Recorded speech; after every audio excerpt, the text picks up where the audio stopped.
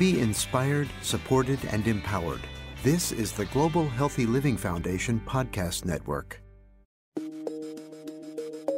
Welcome to Talking Head Pain, the podcast that confronts head pain head on. Hi, I'm Joe Coe, Director of Education and Digital Strategy at the Global Healthy Living Foundation. And as you know, I've been living with migraine for over 20 years, and I've learned that no matter how long you've been on your personal journey, we all can agree that living with migraine can lead to profound changes in our lives. These are changes that today's guest, JP Summers, has experienced firsthand. JP is an author, journalist, and fellow at the Global Healthy Living Foundation. Hi, JP. How are you today? I'm doing great, Joe. And you? I can't complain. It's a good day when I get to do talking head pain and talk to wonderful people like you. So we'll jump right in, JP. Can you explain to the audience what your worst migraine experience was like? Sure. So, um, my worst migraine experience was when I was in the eighth grade. I was actually in the middle of taking a test, and all of a sudden, on my left eye, I was having um, what they would consider floaters. And so all of a sudden, my left eye had all these little floaters. Um, it kind of looked like little butterflies, like sparkly butterflies. And then within a matter of seconds, I couldn't see on my left eye. So my reaction was to just head out to the nurse's clinic because that's what I was you know that's my norm. And as i was walking down the hallway which typically wasn't that far but um, i started losing vision in my other eye. So i was walking and holding onto the wall which basically were all lockers. And i was trying to feel my way to the nurse's clinic whose door was always open. And as i was walking it's like tunnel vision. And like even the sounds i could barely hear anything. Like my hearing almost went like i was almost deaf and by the time I made it, which seemed like an eternity into the nurse's clinic, um, she looked right at me and I could barely see her. And all I said was migraine. And from that time, um, and again, um, I don't recall anything what people have told me, my parents, the nurse, uh, the physician. So apparently, my parents picked me up from school, drove me to the physician's office. They then administered what would be a migraine cocktail, which is a mixture of different kinds of meds that they they tend to use a combination of usually three to kind of help um, alleviate the the migraine symptoms. And um, that was done. Apparently, I was there for two hours from what I was told. Then I was driven back home. I did not wake up. So around the time frame I was told, it was like about maybe uh, like one o'clock in the afternoon at school. So by the time I woke up, it was 10 o'clock at night. When I woke up, I had no idea where I was at. I didn't even know what day we were on. I mean, it's absolutely like I don't remember anything. And again, I was just told the story of what happened. And for someone who never experienced a migraine attack that severe, that um, debilitating, it I was shocked that I'm like thinking, how could I have lost those many hours of time and it's scary because that did happen several times. I would say at least 10 times from um that that in the eighth grade it happened to me several times over the years. And yeah again that was probably the most terrifying um, migraine attack i ever experienced yeah, that sounds really intense, particularly the loss of time. Mhm. That leads me to my next question, JP. What are some of the things that you've lost by living with migraine? oh gosh um the the top two that always stick out the most when i'm advocating when i'm sharing my story is um, the first one would be loss of driving. I actually, my neurologist, um, when I started to have debilitating symptoms with my motor skills, I had a weakness in my hands, uh, movement. I had difficulties walking. Uh, I actually had to have help to get around and that led my neurologist to suspend my driving privileges for two whole years. That is how debilitating, that's how severe um, that all of actually my symptoms were. So for two whole years, I had to have people drive me to doctor's appointments, drive me to the store. I mean, just the simple things that you take for granted people had to to pitch in my daughter who just got her license was driving me just down the road just to um, run an errand and to lose that part you know something that you that you just normally don't think that would happen um, that was very difficult for me to accept. And um, because of my not not being able to drive that then led to a loss of a career. At the time i was seeking medical uh, advice. I was trying to get treatment trying to figure out what was going on why why was my neurological state so bad? And of course uh, i had a banking career at 13 years at that point after you know they use fmla I was let go. So I lost a 13 year career, which is something I never, ever imagined migraine would take away from me. Because most people lose loss of, uh, lose days, you know, they'll maybe miss uh, maybe some hours, uh, a few days, but never did I ever imagine uh, losing um, the ability to drive and um, a career would be the result of having the migraine disease. How did that realization that you couldn't work anymore or losing your career uh, impact you oh. emotionally, oh. physically? Oh my gosh. So I know that it wasn't that I was I wasn't fired. I know that, but mentally and emotionally I felt that I fit like a failure. I felt that I failed myself as a person. Everything I worked hard for, all the years that I that I put 13 years I put in for training, I took uh, classes you know I built those customer relationships you know just all of everything that i worked hard for and was gone. And that emotionally d- drained me. It put me into i mean i wasn't diagnosed with depression but personally i felt that i did go through depression because i i was in pain for one. Um, i had all these symptoms going on. Um, if it wasn't um, you know, visual disturbances or sensitivity light, or uh, again, the decreased motor skills of um, not being able to walk unassisted, just the the things that symptoms that you get um, you know with having the migraine disease. But i mean mentally i felt like a failure. I felt like i can't believe that that i allowed this to happen. How how could i have um, come to this point. So it does affect you. And I think for me personally, um, just knowing that, hey, you know what, I'm I know that this happened, but I have to get better. I have to, you know, find a way to get back um, at least part of what I lost. So yeah, it definitely does take a toll on you a lot more than what people realize. So, JP, how did you find purpose and reclaim that sense of self? It took a good year for me to kind of put a positive spin on what was going on with me. And uh, I found online community where I was able to join um, online support groups for people living with migraine and other headache disorders. And through that, someone reached out to me and said, Hey, we have this, you know, we have ways that you can share your story. And when I was told that my story could help others, it, I, I just couldn't not think about the positive things that could come from it.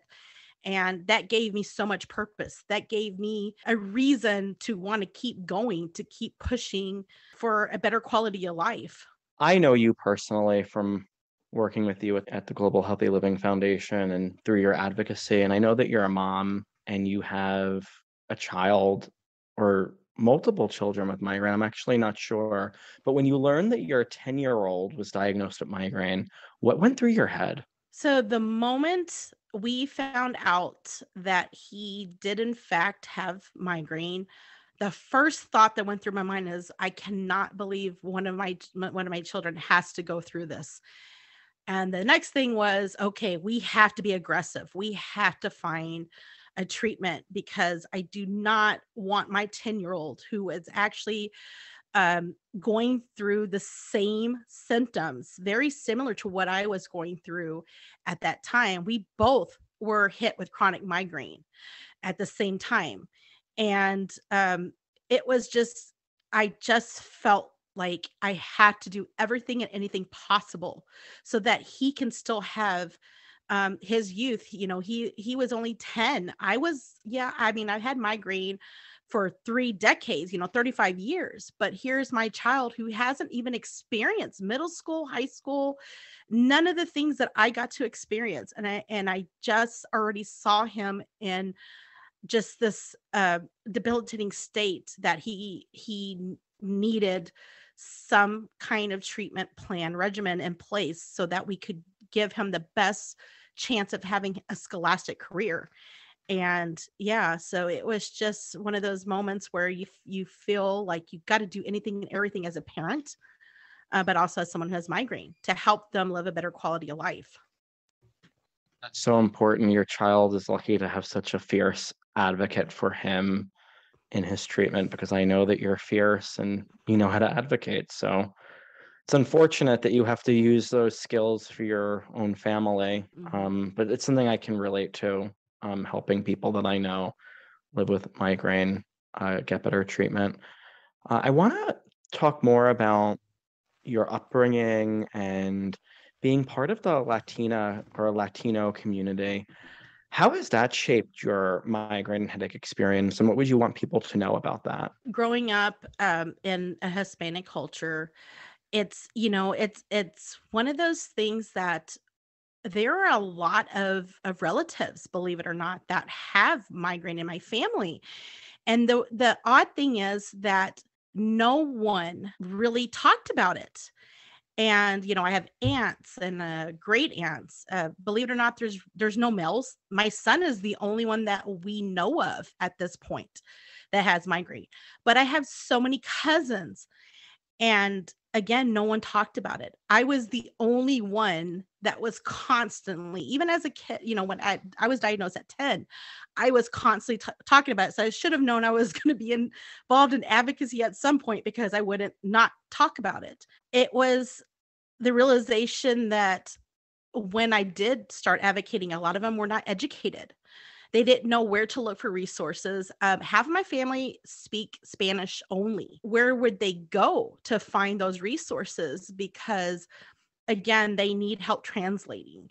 So I again see that, you know, difference in bringing forth the resources they need but also it's not just them it's i also have friends you know um, that again uh, latino latina uh, and they too have the same situation where half of their family only speaks Spanish. Even the ones that are bilingual still struggle to explain certain terminology. So there is that need to bring more education, more resources to the Hispanic community. Anything that I'm able to do to help um, that is part of not just uh, something I do as an advocate, but also as someone who lives with migraine. That I want my family, I want my friends to be able to share, to be able to give information that can help others in our community. And again, it's very important to reach out to people with those different um, backgrounds again whether they're um, only spanish speaking or they're bilingual again to just kind of bring the information that they need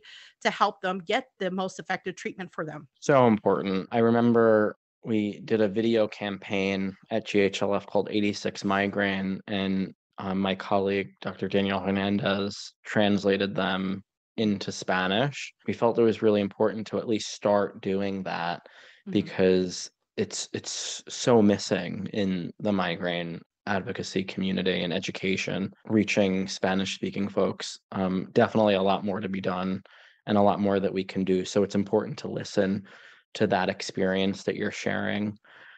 I want to close this out by thinking about what brings you joy and happiness. And i know that one of those things is reporting and going to comic-con and events like that. Yes. So, what about Comic Con brings you joy? Uh, how do you get energized by that? And how do you manage like these really loud, colorful, vibrant events while living with migraine? Yes. So um, back in 2018, um, because of my experience as a freelance writer and blogger, I got to do media coverage at my very first Comic Con, which a lot of people don't know this, or maybe they do.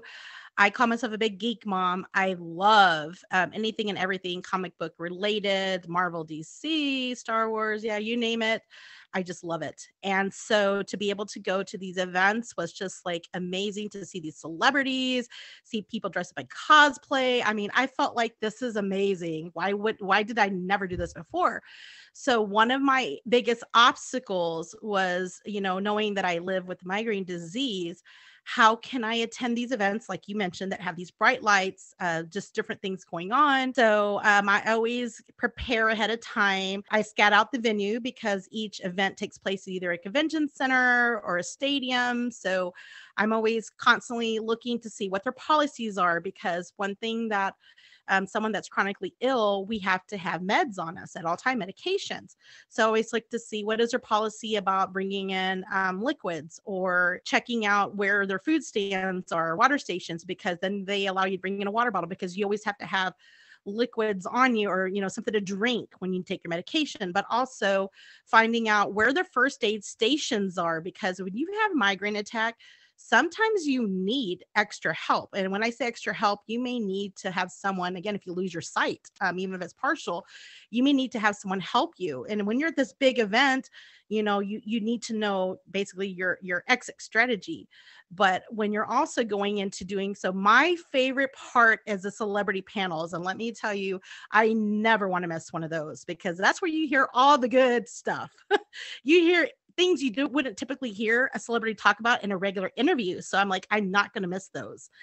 And so again, um, just uh, figuring out, okay, so when you go in there, try to sit in the area where you know you need, if you need to make a quick exit, you're able to leave, but also um, carrying around my bag of necessities. I carry earplugs, I have my sunglasses, you know, I have um, just all kinds of things I typically would use during a migraine attack.